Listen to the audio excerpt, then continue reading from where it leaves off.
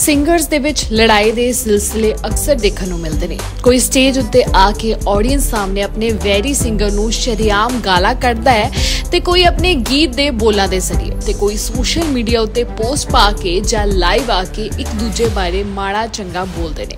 ਹੁਣ ਵੀ ਇਹੀ ਹੋਇਆ। ਅਸੀਂ ਗੱਲ ਕਰ ਰਹੇ ਹਾਂ ਸ਼ੈਰੀ ਮਾਨ ਦੀ। ਬੀਤੇ ਦਿਨੀ ਹੀ ਸ਼ੈਰੀ ਮਾਨ ਇੰਸਟਾਗ੍ਰam ਤੇ दारू ਪੀ ਕੇ ਲਾਈਵ ਹੋਈ ਤੇ ਪਰਮੇਸ਼ ਵਰਮਾ ਨੂੰ ਗਾਲਾਂ ਕੱਢਣੀਆਂ ਸ਼ੁਰੂ ਹੋ ਗਏ।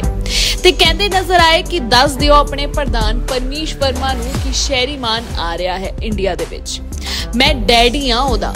ਹੋਰ ਕੀ ਕੁਝ ਕਿਹਾ ਸ਼ੈਰੀ ਮਾਨ ਨੇ, ਤੁਸੀਂ ਖੁਦ ਹੀ ਸੁਣ ਲਵੋ। ਕੋਈ ਚੱਕਰ ਨਹੀਂ ਹੈ। ਮੜਾ ਦੱਸ ਦਿਓ ਆਪਦੇ ਜੇ ਤੁਹਾਡਾ ਪ੍ਰਧਾਨ ਪਰਮੇਸ਼ ਵਰਮਾ, ਉਹਨੂੰ ਦੱਸ ਦਿਓ ਕਿ ਸ਼ਹਿਰੀਮਾਨ ਆ ਰਿਹਾ। ਉਹਨੂੰ ਕਹੇ, ਇੰਡੀਆ 'ਚ ਕਿਤੇ ਮਰਜ਼ੀ ਆ ਜੀ, ਪੁੱਤ। ਮੈਂ ਆਲਵੇਜ਼ ਉਹਦਾ ਡੈਡੀ ਆ ਤੇ ਉਹਦਾ ਡੈਡੀ ਹੀ ਰਹੂੰਗਾ।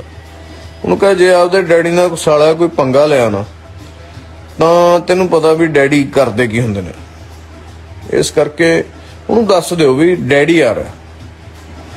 ਜਾ ਕੇ ਉਹਨੂੰ ਟੈਗ ਕਰ ਦਿਓ ਵੀ ਡੈਡੀ ਆ ਤੁਹਾਨੂੰ ਦੱਸ ਦਈਏ ਕਿ ਪੰਜਾਬੀ ਗਾਇਕ ਸ਼ੈਰੀ ਮਾਨ ਨੇ ਕਈ ਵਾਰ ਸੋਸ਼ਲ ਮੀਡੀਆ ਤੇ ਸ਼ਰਾਬ ਛੱਡਣ ਦੀ ਗੱਲ ਆਖੀ ਹੈ, ਪਰ ਵਾਰ-ਵਾਰ ਉਹ ਸ਼ਰਾਬ ਪੀ ਕੇ ਨਵੇਂ-ਨਵੇਂ ਵਿਵਾਦ ਖੜੇ ਕਰਦੇ ਨਜ਼ਰ ਆਉਂਦੇ ਰਹਿੰਦੇ ਹਨ। ਕਾਫੀ ਲੋਕਾਂ ਨੂੰ ਵੈਸੇ ਤਾਂ ਇਹਨਾਂ ਦੋਨਾਂ ਦੇ ਝਗੜੇ ਬਾਰੇ ਜਾਣਕਾਰੀ ਹੈ, ਪਰ ਜਿਨ੍ਹਾਂ ਨੂੰ ਨਹੀਂ ਪਤਾ, ਅਸੀਂ ਦੱਸ ਦਿੰਨੇ ਹਾਂ ਕਿ ਸ਼ੈਰੀ ਮਾਨ ਦਾ ਪਰਮੇਸ਼ ਵਰਮਾ ਨਾਲ ਵਿਵਾਦ ਉਦੋਂ ਸ਼ੁਰੂ ਹੋਇਆ ਜਦੋਂ ਉਹਨਾਂ ਦਾ ਵਿਆਹ ਸੀਗਾ ਜਿਸ ਵਿੱਚ ਸ਼ੈਰੀ ਮਾਨ ਨੂੰ ਫੋਨ ਲੈ ਜਾਣ ਤੋਂ ਮਨਾ ਕਰ ਦਿੱਤਾ ਸੀ। ਤੇ ਸ਼ੈਰੀ ਮਾਨ ਨੇ ਵਿਆਹ ਛੱਡ ਕੇ ਬਾਹਰ ਆ ਕੇ ਸੋਸ਼ਲ ਮੀਡੀਆ ਤੇ ਲਾਈਵ ਹੋ ਕੇ ਪਰਮੇਸ਼ ਵਰਮਾ ਨੂੰ ਬਹੁਤ ਗਾਲਾਂ ਕੱਢੀਆਂ ਸਨ। ਹੁਣ ਬੀਤੇ ਦਿਨੀ ਹੀ ਜੋ ਹੋਇਆ, ਉਸ ਤੋਂ ਬਾਅਦ ਪਰਮੇਸ਼ ਵਰਮਾ ਨੇ ਵੀ ਆਪਣੀ ਇੰਸਟਾ ਸਟੋਰੀ ਤੇ ਕੁਝ ਪੋਸਟਾਂ ਸਾਂਝੀਆਂ ਕੀਤੀਆਂ ਨੇ।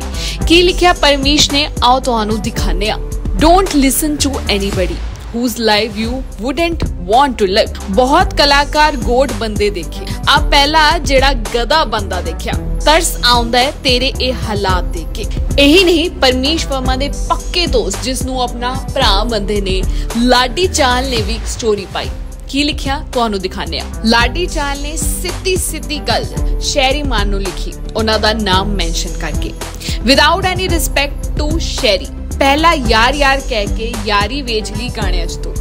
ਹੁਣ ਗਾਣੇ ਚੱਲਦੇ ਨਹੀਂ ਤਾਂ ਤੂੰ ਇੰਨਾ ਸ਼ਿਟ ਲੈਵਲ ਤੇ ਗਿਰ ਗਿਆ ਓਏ। ਇੱਕ ਸਾਲ ਹੋ ਗਿਆ ਤੈਨੂੰ ਸੋਸ਼ਲ ਮੀਡੀਆ ਤੇ ਬੋਲ ਬੋਲ ਕੇ ਗੰਦ ਪਾਉਂਦੇ ਨੂੰ। ਗਾਣਾ ਤੇਰਾ ਹੁਣ ਕੋਈ ਚੱਲਦਾ ਨਹੀਂ। ਆ ਕੇ ਸਾਲਿਆ ਫੇਰ ਡ੍ਰੇਕ ਡ੍ਰੇਕ ਕਰਨ ਲੱਗ ਜਾਣਾ। ਦੁਨੀਆ ਆਪਣੇ ਗੁੱਸੇ ਗਿਲੇ ਛੱਡ ਕੇ ਇੱਕ ਹੋ ਰਹੀ ਹੈ ਤੇ ਤੂੰ ਲੰਡਰ ਕੁੱਤੇ ਵਾਂਗੂ ਅਜੇ ਵੀ ਪਕਾਈ ਮਾਰਦਾ। 40 ਸਾਲ ਦੀ ਉਮਰ ਹੈ ਤੇਰੀ। ਸ਼ਰਮ ਕਰ ਆਪਣੇ ਜਵਾਕ ਲਈ ਮੋਟੀਵੇਸ਼ਨ ਬਣ। ਆ ਕੁੱਤ ਕਲੇਸ਼ ਘਰੇ ਵੀ ਇਹੀ ਕਰਦਾ ਹੈ।